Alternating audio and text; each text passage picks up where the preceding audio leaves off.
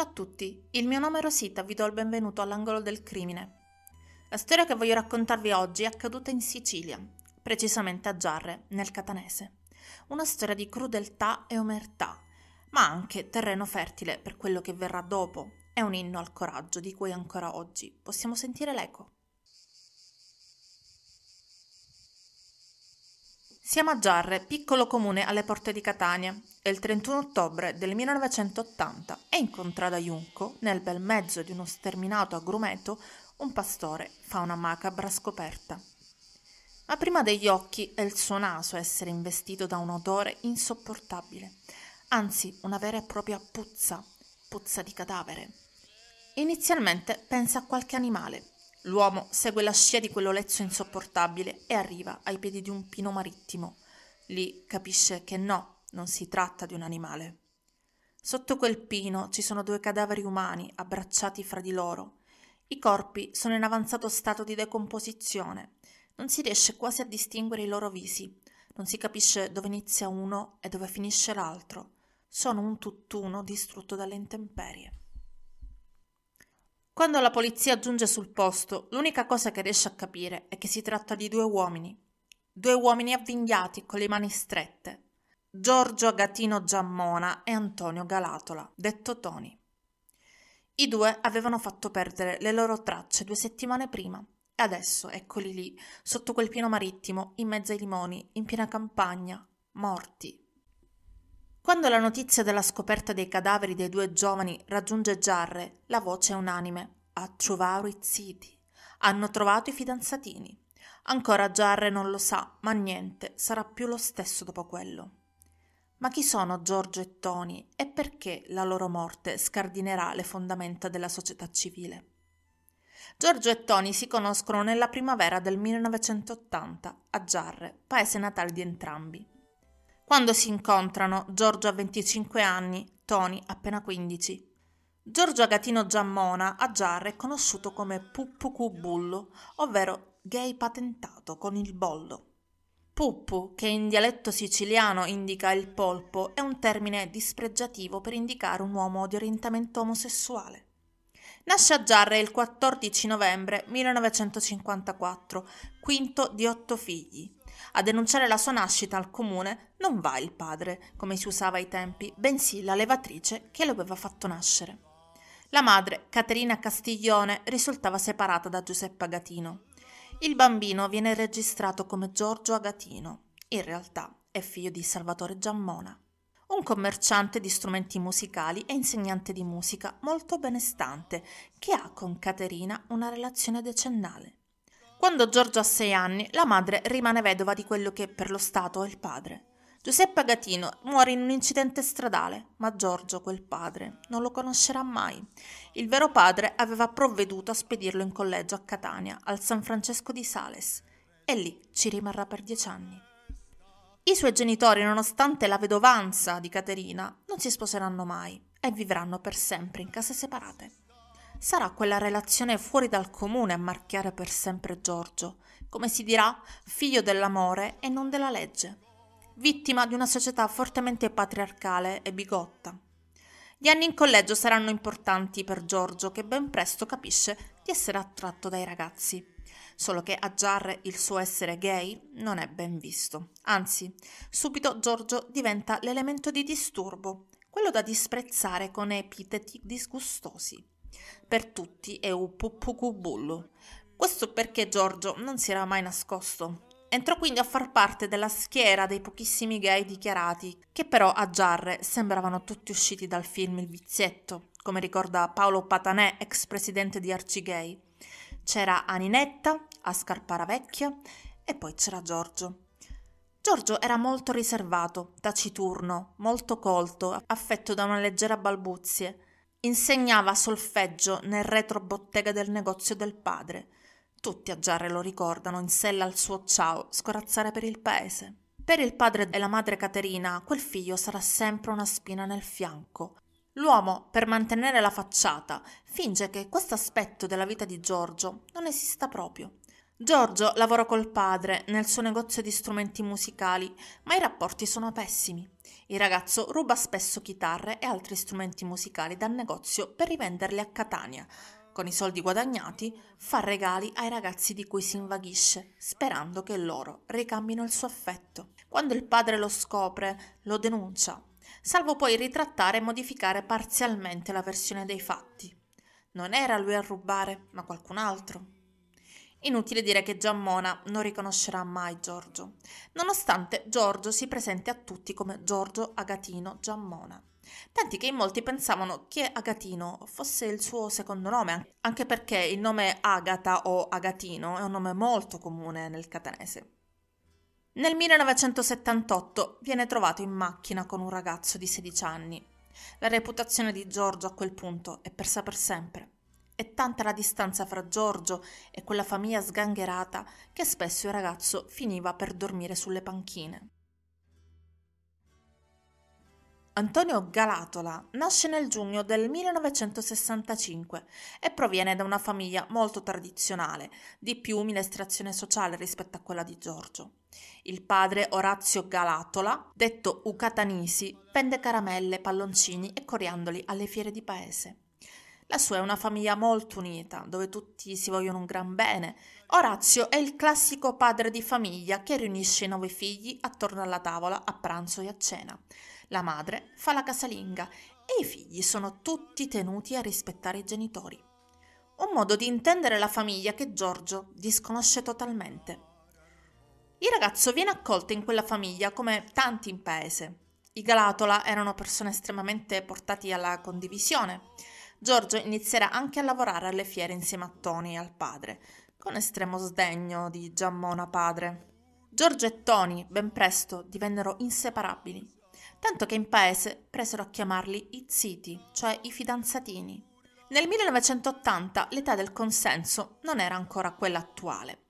Se non fosse stato per il fatto che erano due uomini, quella relazione sarebbe stata perfettamente legale. La stessa sorella di Tony, Santa, ad appena 12 anni, aveva fatto la fuitina con un ragazzo molto più grande di lei. Nessuno ebbe da ridire, si usava così a quel tempo. Come è facile immaginare, la loro fu una relazione osteggiata, specie dai genitori di Tony, ma attenzione, ufficialmente Tony era solo amico di Giorgio. I genitori semplicemente non vedevano di buon occhio che frequentasse Giorgio. Avevano paura lo traviasse, lo rendesse deviato ma tutti sapevano che i due in realtà si amavano e che Tony, sicuramente rassicurato da Giorgio, molto più grande ed esperto di lui, non facesse ormai mistero di stare con il Giammona. Non avevano più remore, si amavano e tutti lo sapevano. E tra lo scherno e il disgusto, per tutti ormai erano i ziti, i ziti di Giarre. Di loro e del loro legame rimane una foto in bianco e nero sbiadita dal tempo, i due sono seduti su un divano in similpelle, tanto in voga negli anni settanta. A sinistra c'è Giorgio, chioma arruffata e viso quasi infantile, se non fosse per la barba. A destra l'ovale perfetto di Antonio, con il suo caschetto castano, un sorriso appena accennato, gli sguardi timidi, vicini, vicinissimi, tanto da toccarsi. Quando i due spariscono, il 17 ottobre del 1980, la madre di Tony chiamerà quella di Giorgio, Caterina. Alla donna, non abituata al fatto che il figlio sparisse di colpo, Caterina dice Mio figlio fa sempre così, va con quelli più piccoli di lui, ma poi torna, non ti preoccupare.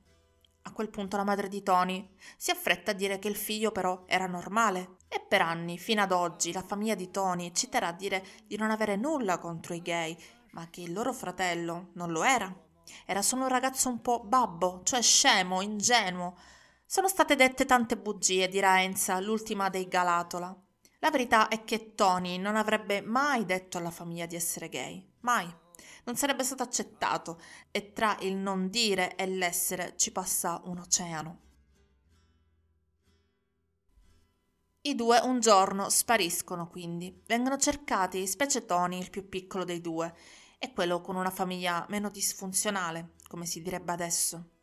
Li cercano, sì, ma in paese i pettegolezzi si sprecano e le voci corrono di casa in casa, di negozio in negozio. I ziti sin ne fuero. I fidanzati sono fuggiti.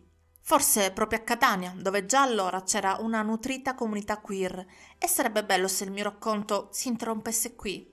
Sarebbe bello se vi dicessi che sì, Giorgio e Tony erano scappati a Catania a vivere la loro vita, lontano dalle ingiurie, gli sberleffi, le prese in giro, lontano da gente che li definiva puppucubullo. Ma non è così. Quei corpi così deteriorati da sembrare ormai un tutt'uno, quelle due teste colpite da un solo colpo di pistola, lo confermano. Cosa può essere accaduto agli ziti di Giarre? Gli inquirenti seguono diverse piste.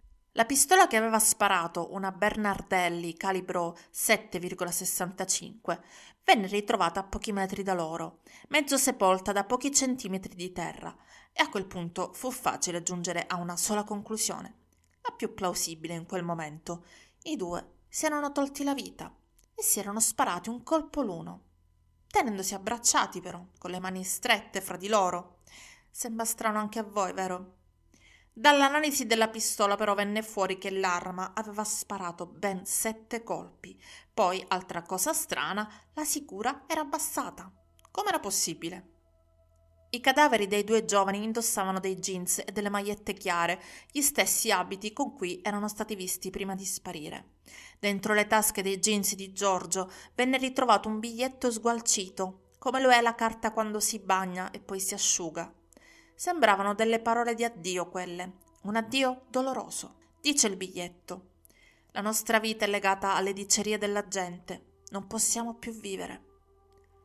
Da una perizia calligrafica venne fuori però che quella scrittura non era di nessuno dei due ragazzi. E se uno avesse sparato all'altro e poi si fosse tolto la vita? No, non si spiegherebbe perché la pistola fosse con la sicura abbassata e semisepolta. Si inizia a delineare allora l'ipotesi più plausibile, questa volta davvero. Giorgio e Tony erano stati uccisi e in effetti quella ha tutta l'aria di essere un'esecuzione. Non possono esserci molti dubbi in merito.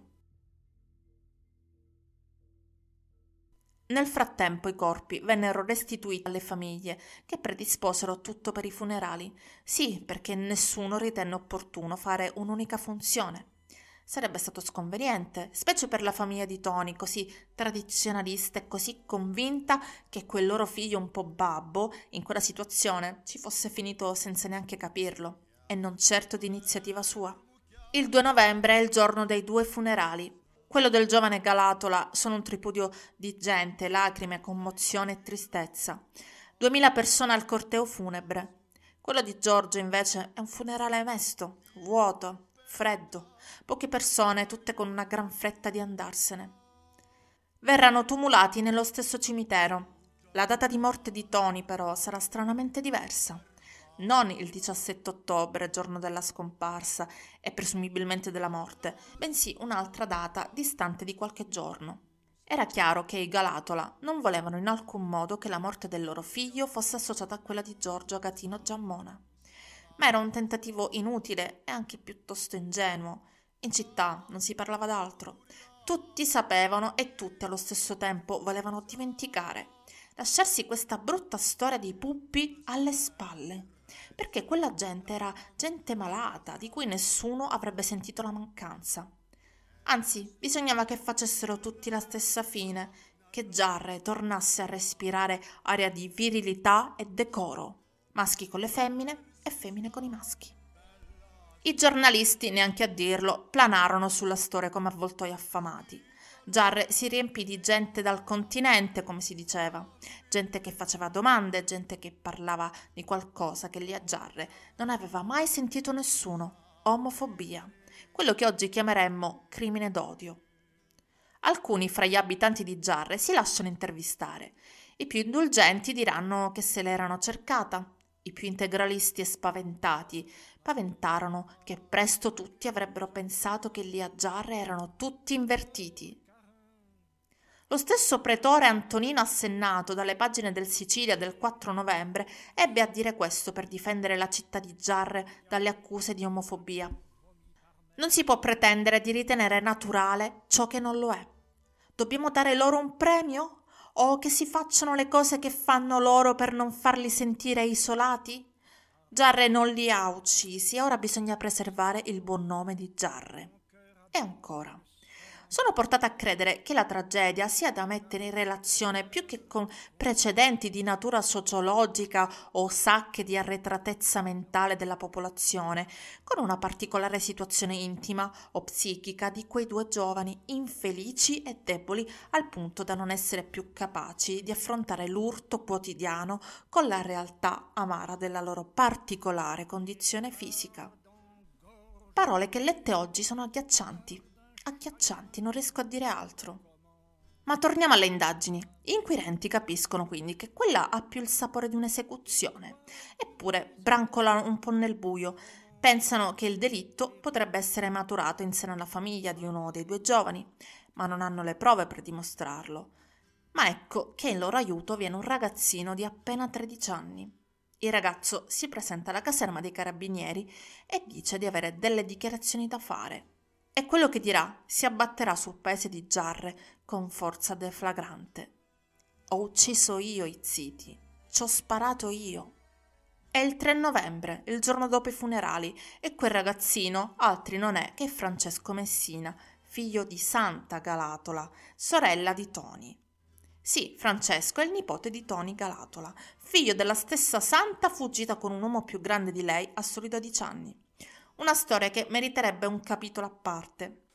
Mi limiterò a dire che la vita di Santa, sposa bambina, è stata un inferno fatto di botte e soprusi. E adesso quel ragazzino con la zazzera bionda, alto e paffuto, ma con un viso da bambino, ai carabinieri confessa che a ucciderli era stato lui, ma che non voleva farlo. Lo dice fra le lacrime. Me l'hanno chiesto loro, loro mi hanno costretto a farlo. Questa è la ricostruzione sulla base della confessione di Ciccio Messina. La sera del 17 ottobre, Francesco, detto Ciccio, incontra lo zio Toni insieme a Giorgio in pieno centro di Giarre. I due lo invitano a seguirlo. I tre si mettono in macchina ed escono fuori dal paese. Lasciano la macchina davanti a un muretto, scavalcano questo muretto e si incamminano verso l'agrumeto, lì dove verranno trovati sotto il massiccio pino marittimo. Lì Giorgio tira fuori il bigliettino e la pistola. La consegna a Ciccio Messina dicendogli Devi spararci un colpo ciascuno, in testa. Lo ricordiamo, Ciccio Messina è poco più che un bambino, un bravo bambino cresciuto coi nonni paterni, ripudiato dalla madre, uno di quelli che sta sempre dietro al nonno, che lo aiuta nei campi, che non farebbe mai del male a nessuno, tantomeno allo zio. Solo che sia lo zio che Giorgio adesso lo stanno minacciando.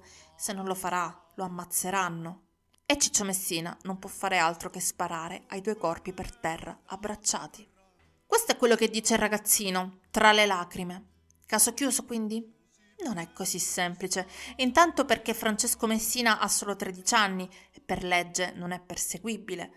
Sono due le strade, o i due ziti hanno deciso di farsi ammazzare dal nipote per questo, cioè perché non avrebbe rischiato la galera, oppure Ciccio Messina ha confessato per coprire qualcun altro. In realtà in paese si dice ben altro. Non solo si dà per certo il fatto che Ciccio Messina abbia ucciso i due ragazzi, ma si insinua anche il dubbio che in realtà quel delitto sia l'atto finale di un gioco proibito che i due avevano messo in piedi coinvolgendo il giovanissimo nipote di Tony.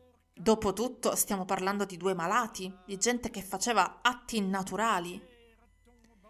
I conti però non tornavano ugualmente. Per quanto ben piazzato, Ciccio Messina era comunque un tredicenne che non aveva mai maneggiato armi. Sparare in testa a qualcuno con quella precisione presupponeva di certo una confidenza con le armi. Ma anche Giorgio e Tony erano assolutamente per nulla avvezzi alle armi. Come avevano fatto a procurarsi una pistola? E poi, possibile che nessuno avesse sentito gli spari? E se li avessero uccisi altrove? Inoltre Ciccio, sentito più volte, cadrà spesso in contraddizione. Una volta dirà di aver sparato tre volte, un'altra sette. Ed è strano perché in effetti quella pistola aveva sparato sette colpi. Ma dai bossoli non vi era traccia. Ed era certo che i due giovani avessero ricevuto un colpo ciascuno. Forse Ciccio li aveva raccolti, ma può un ragazzino presumibilmente traumatizzato dall'aver ucciso due uomini avere la lucidità di raccogliere gli altri bossoli sparati? Dai verbali delle confessioni emergono ulteriori contraddizioni. Ad esempio, nel primo interrogatorio, Ciccio dichiara di essere stato agganciato dalla coppia fuori da un bar con un orologio che gli venne consegnato prima di infilarsi in macchina. Poi dirà che quell'orologio gli era stato dato poco prima che sparasse loro, nell'agrumeto. Era lo shock che lo confondeva o qualcuno lo aveva imbeccato? Il procuratore titolare dell'inchiesta è il primo a porsi tutte queste domande.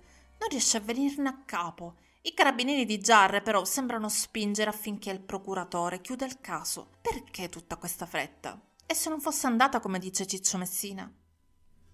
E poi, improvviso, il colpo di scena. Dalle pagine dell'Ora, quotidiano di punta di Palermo, spunta fuori un'intervista al piccolo Ciccio. Per la seconda volta le parole del ragazzino provocano un vero e proprio terremoto. Il ragazzo ritratta tutto. Non li ho uccisi io. I carabinieri mi hanno picchiato affinché confessassi il delitto. Ma non solo. Il ragazzino tira in ballo l'adorato nonno, che sarebbe stato anche lui oggetto di minacce. Se non parli, arrestiamo lui. E lui a questa minaccia non seppe resistere. I carabinieri quindi a suon di botte convinsero il cugino tredicenne di Tony, non imputabile per legge, a confessare il delitto. Purtroppo, e vorrei immensamente che non fosse così, quella confessione che tanto puzzava di marcio alla fine accontenterà tutti. Perché lo abbiamo detto, di una storia di puppi ammazzati non frega nulla a nessuno. L'inchiesta condotta venne chiusa in tutta fretta. Agli atti rimane che a uccidere Giorgio e Tony era stato un bambino. Innocente, chiariamolo, ammaliato da un orologio, minacciato, indotto a fare un gioco proibito, Mettetela come volete, ma di quella morte gli unici responsabili sono proprio loro, le vittime, che oltre a essersi fatti uccidere si sono anche volatilizzati per 14 giorni, riapparendo misteriosamente il 31 ottobre. Sì, perché quell'agrumeto è certo fosse stato battuto dalle ricerche, eppure nessuno li aveva notati. Com'è possibile? O forse, seconda opzione, nessuno li aveva cercati.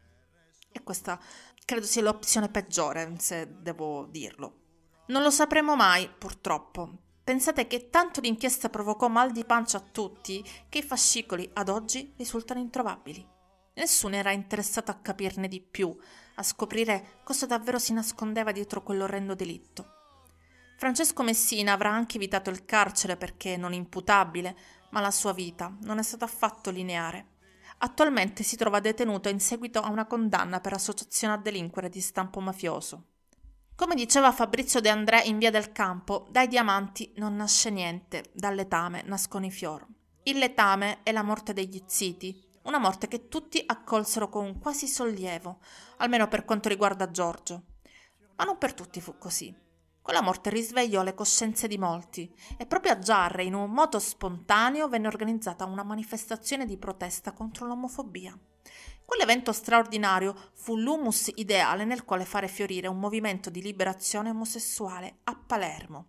Infatti, appena un mese dopo la morte degli ziti, nacque la primissima cellula dell'Arcigay, la prima associazione che lotta da 40 anni per i diritti della comunità LGBTQ fondato da un sacerdote, Marco Bisceglia, un teologo della liberazione, omosessuale e attivista, insieme ad un giovanissimo obiettore di coscienza, Nichi Vendola. All'interno del circolo Arci operano centinaia di attivisti, fra i quali Gino Campanella e Massimo Milani, che 40 anni dopo, il 31 ottobre del 2021, hanno deciso di sposarsi proprio a Giarre, il luogo simbolo della lotta alla discriminazione e l'omofobia per, utilizzando le loro parole, sostituire un atto di violenza con un atto di amore. Eppure a Giarra in tanti ancora oggi non sono felici di tirare fuori il delitto degli ziti. Non esiste neanche una targa commemorativa in loro onore. Nulla, solo due tombe spoglie in un cimitero di provincia. Non c'è neanche più il pino marittimo, custode silenzioso dei due giovani. L'agrumeto è adesso un parcheggio. Intorno a case, condomini, negozi, cemento sulla memoria. Ma non importa e soprattutto non è giusto adesso voler dare colpe o altro. La loro morte, come abbiamo visto, ha dato vita a qualcosa di molto più grande e bello, qualcosa che rende loro giustizia. Grazie al loro amore e al loro sacrificio, per primi hanno cambiato la percezione dell'omosessualità in Italia e per questo io li ringrazierò per sempre.